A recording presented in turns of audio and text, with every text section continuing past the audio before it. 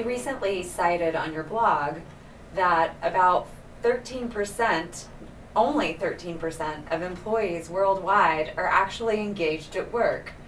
Why is this and what can we do about it? It was so interesting when I saw that. I was sort of stunned. I was like, "Wow!" I mean, that's that's barely one in ten, you know, people that are engaged in what they're doing. And I think it has a lot to do with what we were just talking about with regard to well, two things with regard to um, you know, feeling purposeful in the work that you're doing and getting meaning from it. But I think it's also because by and large, our society has defined success as achievement, right? So we've been striving so hard to achieve. This is everyone. This is true, you know, across, I, I think, at least the US population and probably more broadly too.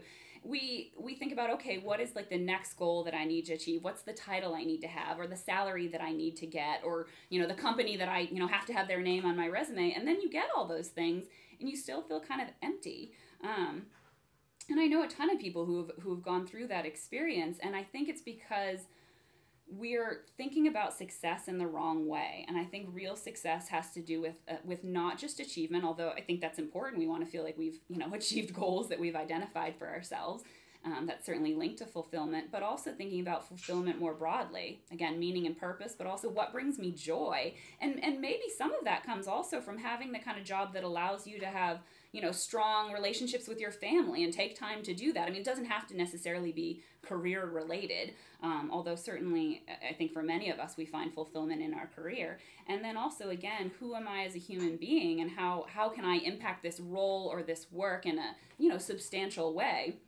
and I think, you know, it's it's so interesting when you, you think about sort of impact, and I think we tend to think, oh, maybe you know, I'm an operations manager and I just realized I should be a creative director and it's all wrong. But I think you can still, I think you, it doesn't mean you need to change jobs. It just means you need to understand yourself and how that job's going to work for you in a way that you can be engaged and fulfilled. And I think there's a ton of stuff that organizations can do to encourage that and I and I think that has to do with learning and development opportunities, especially for the millennial generation, which really craves that. But I think also as individuals, we we kind of need to take the initiative there. It goes back to like having initiative and, and being proactive, but thinking about okay, how can I learn more about myself and what I bring to the table, not just in terms of skills, but also what values, what you know, what's important to me, what am I passionate about, what are my best working conditions, right? Do I like to work in an office or outside? Do I like to work with people or alone, quiet or noisy? I mean, all of these things. And I have a great blog post on this.